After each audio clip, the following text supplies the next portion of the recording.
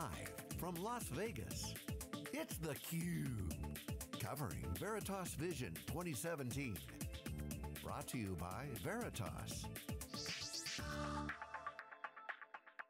Welcome back to Las Vegas, everybody. We're here at the Aria Hotel covering Veritas Vision. This is day one of our two-day coverage. This is theCUBE, the leader in live tech coverage. My name is Dave Vellante. I'm here with my co-host, Stu Miniman. Tyler Welch is here, the Director of Communities at Veritas. He's joined by Justine Velcich, who is runs the VIP program for the Vox community and advocacy. Folks, welcome to theCUBE. Thanks so much for coming on. Hi. Thank you very much. Thanks so Tyler, let's us. start with you. What is, what is Vox? What does it stand for? What it's all, what's it all about? Yeah, so Vox is Veritas Open Exchange. It is our customer community where our customers, our partners, employees are sharing knowledge and information. Uh, Vox in Latin means voice. If you think about Veritas in terms of truth, this is a place where we're being very open. Uh, we want people to come share their knowledge, uh, help each other, uh, and learn. Yeah, so I see the three bullets, is seek answers, share insights, and make informed decisions. So these are practitioners in your, in your community and, and your ecosystem, just sharing ideas and helping each other grow. Is that the basic Ab idea? Absolutely. If you think about digital transformation, right? To transform means you're going from somewhere to another location. And if we're sharing knowledge and information, these individuals are saying, hey, there's a lot of complexity right now, right? We know things are changing in our industries.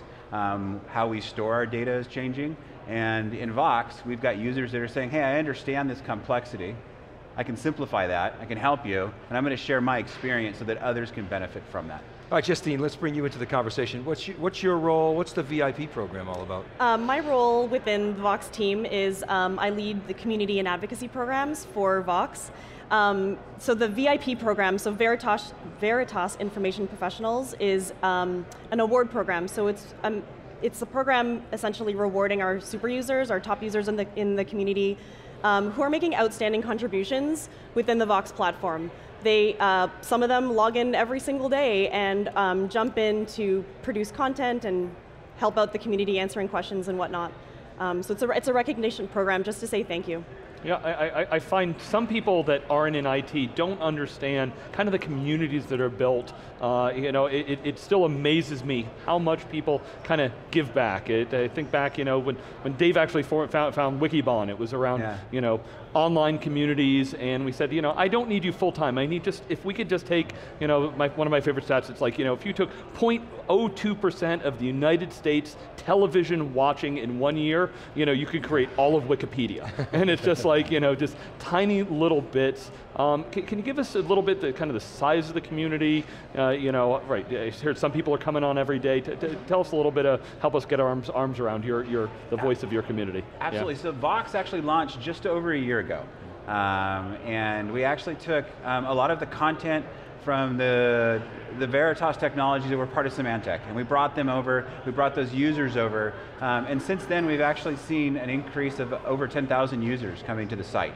Um, and it's something that we've got a lot of active employees, a lot of partners, a lot of customers that are there asking questions. So, coming to the site, meaning they've come, they registered, uh, well actually you have information on them already, but they've agreed to participate in some way, shape, or form, and what's the hurdle that they have to go through to become a member? Yeah, well the join Vox, just come to the site and hit the join button, pretty easy. Yeah. Um, create a username um, and start you know, asking questions. Um, most of our users actually come because they actually have a question, they'll come through Google, right? Hey, help me do this, or I'm trying to figure out this type of deployment. They'll land on there and they'll realize, hey, there's a lot of good information here, um, and there's people here that are actually really knowledgeable, and I want to come back because I'm able to get answers to questions. Uh, or I'm able to learn how to actually do things better than maybe I was doing them uh, in the past. And the computer, uh, community comprises uh, generally IT practitioners, sort of storage admins, um, data center managers? All of the above. Yeah. Um, we also have blogs on Vox where um, our employees at Veritas are actually sharing their perspectives as well. Um, and so we actually um, have a lot of different audiences that run from our executives that are blogging. Bill Coleman has a blog. Um, we're talking about what we're doing all the way to storage admin. Hey, I'm looking to do a deployment. Um, what does this mean? How do I administer these types of things? And so um, through Vox, you'll see that there's a lot of ways to make different connections with different audiences. Justine, what are you seeing as far as some of the content trends? What kinds of things are people producing? Is it sort of forum posts? You mentioned blogs, Tyler, mm. videos. What's the content so makeup? from the VIP side of things, in terms of the content and the types of participation in the program, um, like I said, it's our super users. It's our, our very active subject matter experts that are very passionate about sharing a community with like-minded individuals that are just like them. Um, they are doing everything from um, creating blog posts to jumping in and answering troubleshooting questions and discussion boards. Actually, discussions are probably one of our busiest high traffic areas. It's quite technical in nature, which is what our audience is looking for. Um, so it's, I mean, it's everything, all of the above, really. And what's the reward system look like? Um, it's not really a reward. it's more of an award for thanking them for the last year of their outstanding contributions. Um, we didn't want it to be a do this, get that type of right. an economy. It, it's more of a genuine um, effort when they can come in and just share their knowledge based on their passion for you know, being part of a community that they get to fuel and, and grow. So that their incentive really is that community feel, right? Absolutely. That's the primary motivation for mm -hmm. them, right? Yep. Yeah. There's also reputation around, um, you know, if you're a partner, and you're active mm -hmm. in the community and you're sharing information, you've got that credibility. Uh, and that's important. Um, and some people, as they're looking at the next phase of their career, um, these are things that I'm doing, this is how I'm contributing to the industry that I participate in. And I think, especially with you know, what's going on right now, how this indus industry is transforming, nobody's just one thing. We all have multiple hats. Um, and so this is a place where people can expand some of the things that they're talking about, they're learning, and they're sharing back. How, is there a reputation system? I mean, do the, does the community measure itself on the quality of the contributions or the frequency, or how, how, does, how does that reputation get translated in, into and quantified, or does it? In terms, well, again, speaking from the, the, the VIP program, um, our super users, we didn't want to launch the program with a thousand qualified super users. There probably are a thousand super users on the platform, but we're really looking for quality content. Um, so we are we launched actually just last night, so that was a big milestone for us. Um, we launched last night with 28 individuals welcomed into the program, so we kept it small for a, for a thoughtful reason. Um, they are everywhere from, and you asked the type of people that are part of this, are the community, but right. in terms of the VIP program, they're everywhere from a VP of a medium to large organization to a, a functional IT from an enterprise organization to a consultant and everything in between. Um, they actually are represented across 13 plus countries and um, these, some of these people actually have known each other for decades, being parts of other communities where they're talking about the same types of products, and so they already have built relationships, and that's kind of what makes the community unique.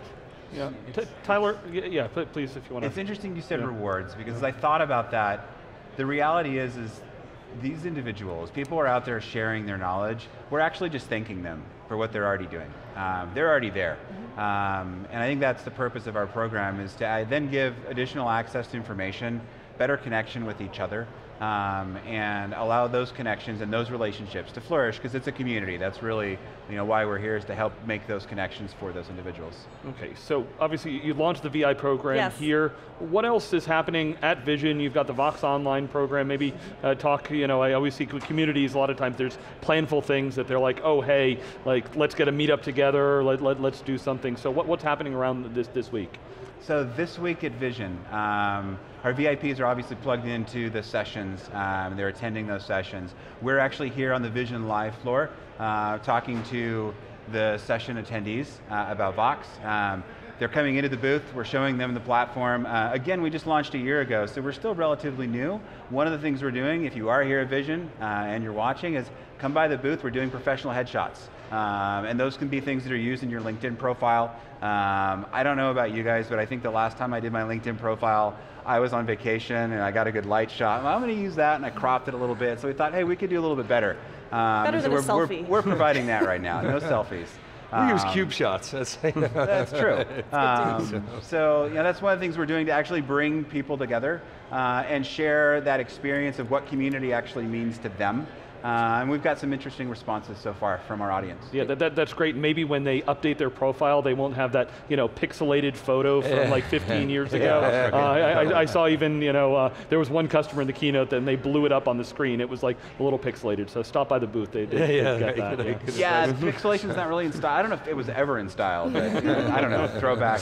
So. One Um, so you said you launched a year ago? Yeah. Is that right? So you've, talk about network effects. I mean, any community like this, you want to achieve some kind of scale and, and you get this sort of flywheel effect. Uh, You've, I mean, 10,000 in 12 months, pretty good number. Um, you know, of course, there's the number and then there's the activity, and those are two different sort of dimensions, but do you feel like you're on the steep part of the S-curve or just heading there or have surpassed that? What, talk about the, the network effect. Absolutely. So, uh, in my experience with launching communities, you do have that hockey stick where in the very beginning, a lot of people are coming and they're joining. Um, the great news is we're seeing high activity on a monthly basis of people coming back. Um, no surprise, in a community, in the very beginning, you're coming through search, um, Google, because you're typing a question into that box and where do you land? We want them to land on Veritas Open Exchange. So we can be part of that broader conversation around what's going on for information management. Um, at Veritas, we believe that a connected experience across our different platforms, if you think about, think about what we're sharing on social media, what we're sharing in our communities, um, those users that are logging in to get inf information out of our different portals, we want to start to blend some of those connections together and we see community as a way to do that. Um, a great example is if you're on a product page and you want to look at information about a particular product, NetBackup, um, being able to access blogs, um, some of the community content is really important because there's a lot of authenticity that comes from a community voice, a user voice, alongside you know, our voice as Veritas as well. You talked a little bit about how you seeded it when, when uh, you had some Symantec relationship with the Symantec data, but how did you actually you know, get the seedling to not die? Like, what, what was that secret? Because that's the hardest part, I think, or at least one of the hard things about building a community is cultivating it so that it doesn't wilt early on. Yeah, communities are about the value for those individuals. Right. Um, the value for us in the very beginning was the content that was there and the content that was created by the community. Mm -hmm. And so as we set out, um, and our roadmap was to launch Vox, one of the early decisions was we need to make sure we can bring all of the content over with us that's relevant. Um, and that felt like an easy decision at the beginning, but it got hard as you started to look at database structures yeah, and things. content like, migration. Yeah, like yeah. this would be a lot easier just to start over. Um, and we stayed true to that. Um, I think we would have launched earlier in the year uh, had it not been for some complexity there, but I think we've been able to continue to grow because we've got good content, and I want to stress the fact that that content is coming from our customers, our partners, and our employees. Um, and those are the individuals that are sharing their experience, which is so valuable, um, and it's authentic. And did you have an existing CMS, or did you choose a new one when you started, a content management system? Or? We went from one platform provider to another, uh, and there was, there was some differences, as you would suspect, in those database structures, um, but we realized as we're thinking about a better experience from a mobile device, um, how do we actually start to connect our community into Veritas.com, integrated into our support portal, we wanted to have flexibility across some of those touch points, um, realizing that our customers and our partners are going to define where they want to go, um, and we want to be able to take that content and make it easier for them to access. Well, and Justine, you, you just launched the, the, the VIP program. You may have some new requirements or, or feature requirements. What, what are you seeing there? What kinds of things do your VIP, do you envision your VIPs are going to require out of the, out of the system? Uh, requirements out of the system. It, so, it, you follow me? So it's sort of a new thing, the VIPs. I mean, uh, does the system accommodate those? Do you have to add new features? I mean, these are you know, challenging problems, right? There's underlying infrastructure that you have to, have to deal with. So how do you, how do you sort all that out? I think, well, in terms of being able to maybe plug in new requirements, especially as, you know, with different types of technology. We're trying to introduce new types of content into the community as well. Mm -hmm. um, that would hopefully be appealing to newer um, advocates that would be welcomed into the program in the future. Like what? So like podcasting is something that we're actually doing. Um, we've paired up with the social team as well, and we're running podcasts here on the Vision Live floor, um, which is really exciting. So we're going to have new content up on, on the community shortly.